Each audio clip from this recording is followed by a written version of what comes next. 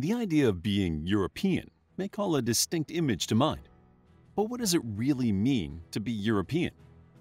How did so many monarchs establish themselves in this part of the world? And where did the name Europe come from anyway? The ancient Greeks divided the known world into three parts Europe, Asia, and Libya. This historical source leads some to believe that the name comes from the Greek Eurus, meaning wide, and ops, meaning face or eye. The reasoning behind this theory is that it describes the broad shoreline of Europe, as viewed by the Greeks, and denotes that the Greeks considered Europe to be the mainland. Others argue that the concept of Europe is much older and stems from ancient Mesopotamia. Subscribers to this theory reason that Europe comes from the Akkadian word Arabu, meaning sunset, and as the sun sets in the west, this was the name for the lands west of Mesopotamia. Similarly, there is the argument that this is how Asia got its name, as it lays east of Mesopotamia and the Akkadian word for sunrise is Asu. Yet another theory involves Europa, a goddess that dates back millennia and has many stories attributed to her. Despite all of these credible suggestions, the true origin of the name Europe and how long it has been in use can only be speculated.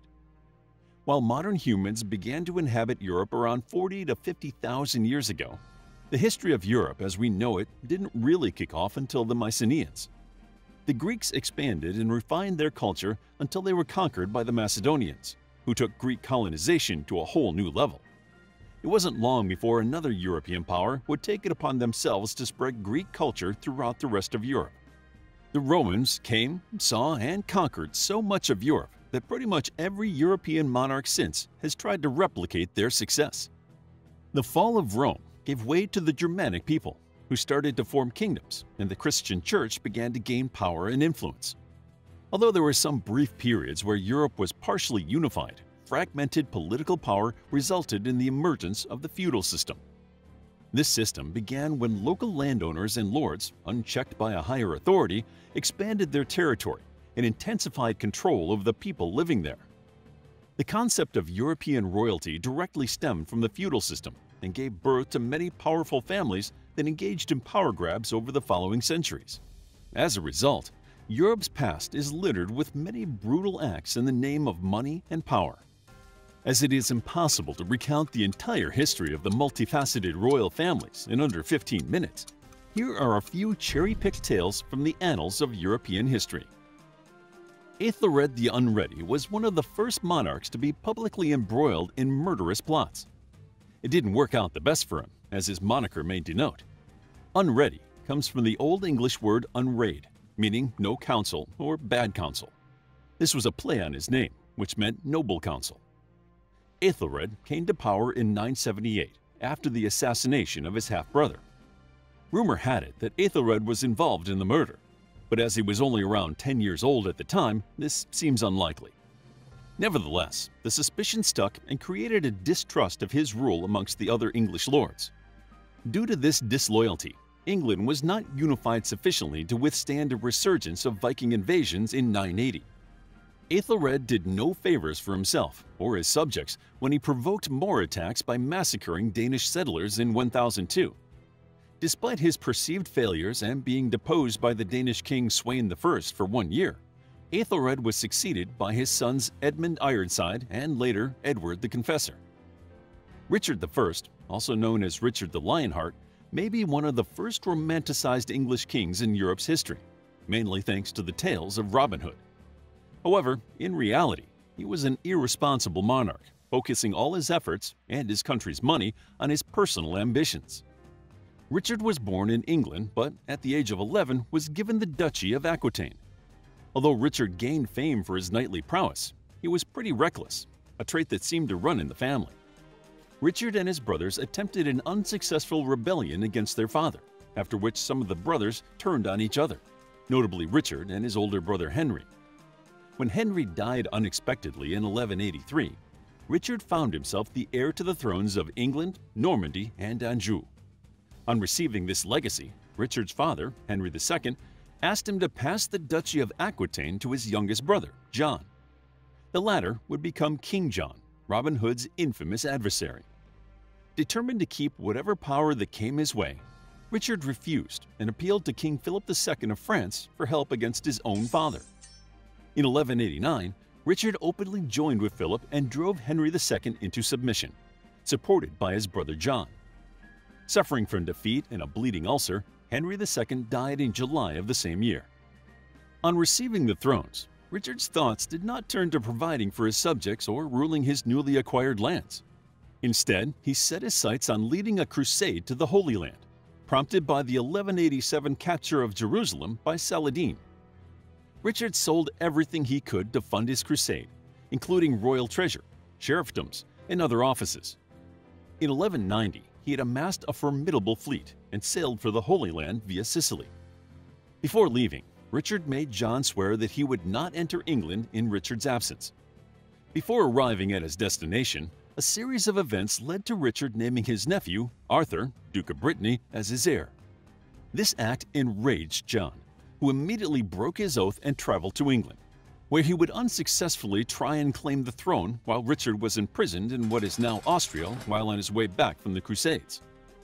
In the Holy Lands, Richard fought with his allies just as much as their enemy. He insulted the Austrian Duke, Leopold V, by tearing down his banner, and argued with French King Philip II, who returned to France prematurely. Richard also upset the Germans by supporting Guy de Lusignan as a candidate for the crown of Jerusalem in place of the German nominee. His actual fight with Saladin ended with a truce in 1192. Knowing he had not made any friends in Europe, Richard tried traveling back home in disguise. Nevertheless, he was discovered and imprisoned, eventually negotiating his release for a hefty ransom, paid for out of the prosperous pockets of England. Despite his reckless rule, Richard Lionheart was beloved in his time, but his legacy as the benevolent king who pardons Robin Hood seems a little far-fetched in light of his other actions. But stranger things have happened. Charles II of Navarre was so treacherous that he received the nickname Charles the Bad. Navarre is a region in northern Spain, and Charles was determined to expand his territory and power. Charles ruled from 1349 to 1387 and conspired with pretty much everyone. He plotted with the English against John II of France, who had given lands once owned by Charles's mother to the Constable of France, the latter of whom Charles had murdered by his supporters in 1354. As he continued conspiring with the English, John arrested Charles in 1356. Charles escaped and continued his dodgy dealings with every powerful party in France, eventually winning back Normandy. He replicated his fickle allegiance in Spain, where he first supported Peter the Cruel of Castile against Peter IV of Aragon in 1362. Then a year later, he did a 180 and switched Peters. After John of France died, the new king, Charles V, through military actions, forced Charles of Navarre to renounce most of his major claims in France. In 1378, Navarre lost Normandy once more when it was proven that not only was Charles planning to renew his alliance with England, but he was also plotting to poison Charles V. Hot on the heels of Charles of Navarre was Charles V's son, also called Charles. Perhaps the most frustrating thing about the European monarchs was their limited imagination when it came to naming babies. The French king Charles VI began his reign as Charles the Beloved, but ended it as Charles the Mad. His reign of 42 years was relatively long, but he spent most of it as a figurehead rather than an active monarch. Ascending to the throne at the age of 11, he ruled under the tutelage of his uncles until he was 19. Four years later, he became ill with convulsions and a fever, and from there on, he would have regular bouts of madness lasting from three to nine months. At one point, he was so convinced he was made of glass that he had tailors sew rods into his clothes to keep him from shattering. His death left France divided between English-controlled regions in the north and those in the south loyal to the French Dauphin, Charles. European history is littered with stories of unsuitable and unstable royalty, and many were a product of severe inbreeding. Strategic marriages throughout the Middle Ages meant that by the Renaissance, most royals in Europe were related in some way or another. Royal betrothals often involved marrying a distant relation, but the Habsburgs took this to extreme. The Habsburgs were so intent on keeping power in the family that Carlos II of Spain was the product of 16 generations of inbreeding, so much so that his grandmother was also his aunt. Carlos was the last male in the line of Spanish Habsburgs. He possessed a massively pronounced Habsburg jaw, meaning that he could not chew his food, and his tongue was so large he could barely speak. Carlos also suffered from many other ailments, including intellectual disabilities, skeletal deformity, epilepsy, and infertility. Carlos, also known as Charles, became king at the age of four, with his mother ruling in his stead until he was 14. No one bothered to educate Carlos, and he was not allowed to walk until he was around 10, as his legs could hardly support his weight. Illiterate and incapable, Carlos was entirely dependent on his courtiers. He died at the age of 38 without producing an heir, despite the best efforts of his family, who somehow managed to secure him two brides, which set the War of the Spanish Succession in motion. Some of Europe's later monarchs were no better than the earlier ones, they just had more scope for their machinations due to newly discovered lands. Leopold II, King of the Belgians from 1865 to 1909, is best known for the many atrocities that were carried out in the Congo Free State under his rule. Leopold was the first of the European leaders to develop the Congo River Basin. He formed the Congo Free State in 1885, where the colonial invaders committed many acts of barbaric cruelty. Rather than establish a colony, Leopold declared private ownership of the region. Under the guise of bringing civilization to the Congo, Leopold brutally exploited the people, forcing them into labor and using the region's resources, including ivory and rubber, for his own personal enrichment.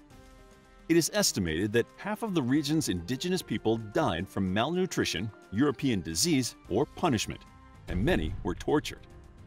A common form of punishment was amputating hands or feet. When these conditions were uncovered in 1905, it led to an international scandal that saw the region removed from Leopold's control. Of course, this was by no means the only case of atrocities carried out by Europeans throughout the world, although perhaps it was among the most brazen. Europe's history is as complex and convoluted as the Game of Thrones books, which used the royals of medieval Europe as its inspiration. Today, European culture is as diverse as it ever was, from Scandinavia to the Mediterranean, Portugal to Ukraine. But whatever the differences in traditions or climate, being European means belonging to a rich, if somewhat checkered, history.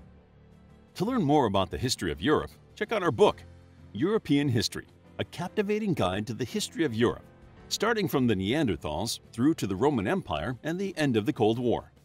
It's available as an ebook, paperback, and audiobook. Also, grab your free Mythology Bundle ebook while it's still available. All links are in the description. If you enjoyed the video, please hit the like button and subscribe for more videos like this.